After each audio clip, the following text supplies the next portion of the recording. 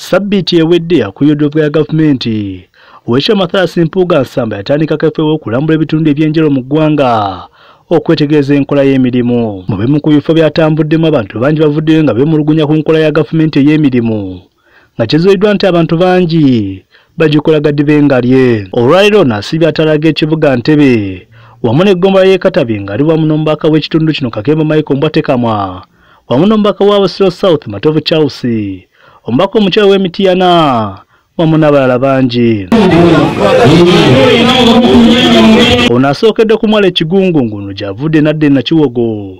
Oluvannyuma n'ayokera ku ddwaliro ekkulu ery'entebe erya grade b ng'eno asanze embeera gye ririmu yennyamiza mpuuga oluvannyuma agenzeeku mu kifo awasima omusenyu mu nkumba central ng'eno asanze abavubuka abasima omusenyu baagobwayo dda nga wateekebwa bimotoka bye bagambye nti bya banene ekyo kye bagambye nti kibalemesezza okwefunira ku nsimbi okweyimirizawo amaka gaabwe. Ono bw'avudde eno agenzeko ku mwala ekasenyi ng'eno abalunnyanja balumojjedde ennaku gye bayitamu. Omuli okutunyizibwa bannamagye abakwasa envuba embi. Be bagamba nti bamala gakwata wamu n'okubonera ebintu byabwe. Suubira nti aliwo omuvuba embi nti aleeta oba ŋŋambe nti baleeteddemu andasayizi sisuubira nti mwekiri teriyo mukene muto kyono mukene muto talina kugenda mu katale. Sisuubira nti ekiri naye bakwata abavubi ba mukene bwe bamala obakwata ne babawaayira nti mubaddemu ebyennyanja mubaddemu biki? Abantu abawangalira mu kasenyi tewali akola butimba. Nti nno nze kristini nalusa obutimba bwange bwanvu bwambi kambuguze mukulu jamusi obutimba tubusuula mu uganda ekibuuzo kuyitawa okutuuka mu uganda okutuuka ku dduuka lyabakristini omubaka kakemo mbwatekamwa yenyamidde olw'eddwaliro eriyitibwa erya refaro. Obutaba nebikozesebwa bimala ate nga n'abantu bangi. Balyettanira tulifalinga mu kiriniki kiswaza eggwanga lino.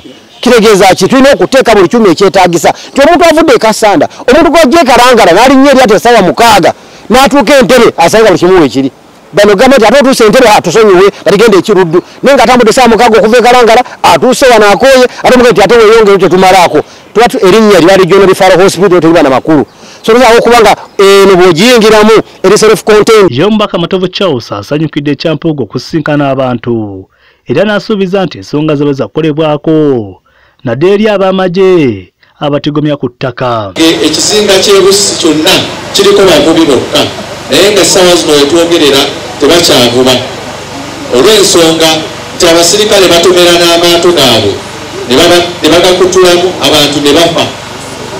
Nina abantu abasukka mu nkaaga abaakattibwa.